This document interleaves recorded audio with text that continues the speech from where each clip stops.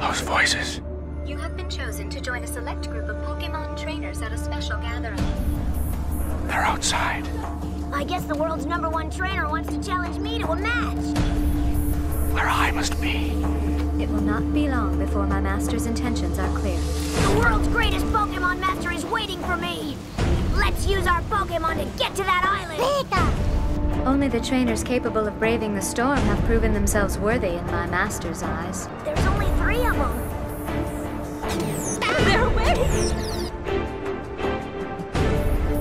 We dreamed of creating the world's strongest Pokemon, and we succeeded.